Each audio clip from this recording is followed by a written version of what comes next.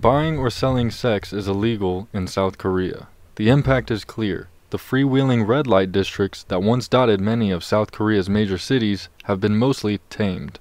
Many of those brothels that once operated in those districts have been forced out of business. Those that remain face the threat of police raids. While most brothels in South Korea have closed since the introduction of a new sex trade law a decade ago, some still remain. But despite the law's success in red light zones, the country's sex trade continues to flourish underground, say people who follow the industry.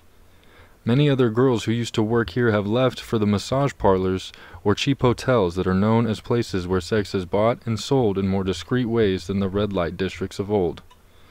In order to skirt police crackdowns, prostitution these days is more commonly found in places such as hotels that turn a blind eye to the sex trade and in back rooms of otherwise legitimate businesses like massage parlors and bars, according to people who monitor the industry.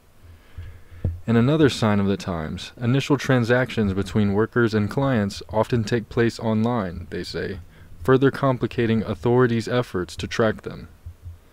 Police say that enforcing the sex trade law has become more difficult as prostitution has dispersed from the red light districts, and officers lack the resources they need to broaden their crackdown. About 270,000 Korean women worked in prostitution, or 3.5% of all women in their 20s and 30s, according to a 2007 report into the industry by the government's Ministry of Gender Equality and Family.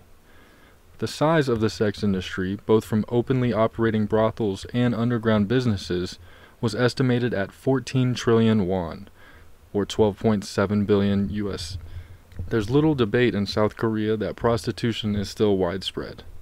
In a high profile media report in 2012, a major national newspaper reported that it was able to find more than 100 bars and salons in one kilometer radiuses of the center of the cities of Seoul, Busan, Ulsan, and Gwangju that sold sex.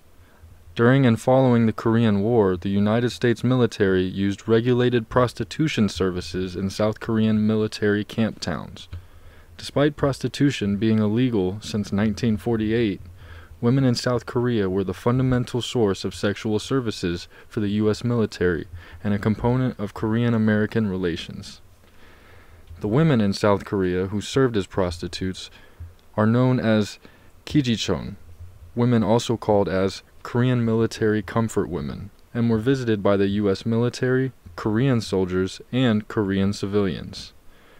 The prostitutes were from Korea, Philippines, China, Vietnam, Thailand, Sri Lanka, Nepal, Indonesia, and the Commonwealth of Independent States, specifically Russia, Kazakhstan, and Ukraine. Beginning in 1945, an institutionalized system of prostitution was adopted and permitted by the U.S. military and the Republic of Korea. Despite the United States forces Korea's policy stating, hiring prostitutes is incompatible with our military core values, there is a discrepancy between practice and policy. In Korean society, prostitution is viewed as a necessary evil. The U.S. military have explained it as military culture that allows for the American GIs to blow off steam and prevent homosexual tendencies. Prostitution for U.S. soldiers were esteemed to be at the bottom of the social hierarchy by South Koreans. They were also the lowest status within the hierarchy of prostitution.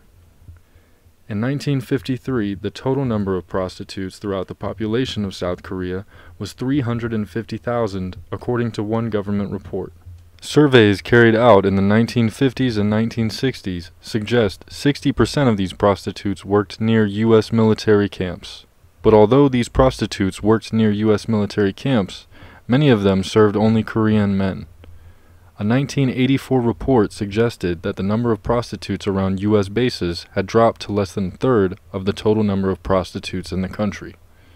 Park Chung-hee, who ruled South Korea during the 60s and 70s, and the father of the former President Park Geun-hye, encouraged the sex industry in order to generate revenue, particularly from the U.S. military. Park seized power in the May 16 coup and immediately enforced two core laws the first was the Prostitution Prevention Law, which excluded camp towns from the governmental crackdown on prostitution. The second was the Tourism Promotion Law, which designated camp towns as special tourism districts. During the 60s, prostitution and other related businesses generated nearly 25% of the South Korean gross national product. In 1962, 20,000 comfort women were registered. The prostitutes attended classes sponsored by their government in English and etiquette to help them sell more effectively. They were praised as dollar earning patriots or true patriots by the South Korean government. In the 1970s, one junior high school teacher told his students that the prostitutes who sell their bodies to the U.S. military are true patriots.